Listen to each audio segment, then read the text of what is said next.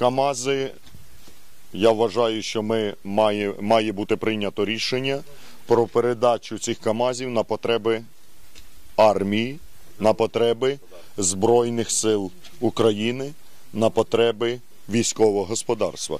Я, до речі, хочу звернути увагу. От подивіться на це е, на ці КАМАЗи видане свідоцтво Російської Федерації, свідоцтво про реєстрацію.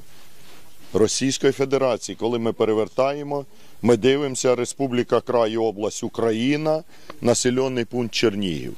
Тобто в Росії вже вважають нашу країну у складі Російської Федерації.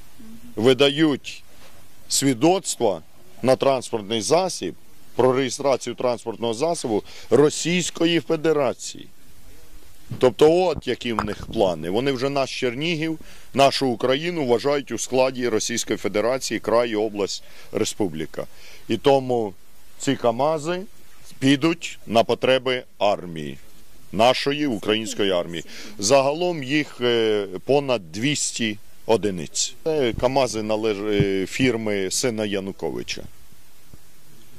Вони потікали мародери, вони пограбували країну, вони хотіли втекти цими КАМАЗами, їх затримали небайдужі люди, в тому числі мої однодумці, побратими, члени радикальної партії. Ми їх затримали вже біля кордону, вернули назад, не дали вкрасти. Сьогодні ця техніка має служити потребам Збройних сил України.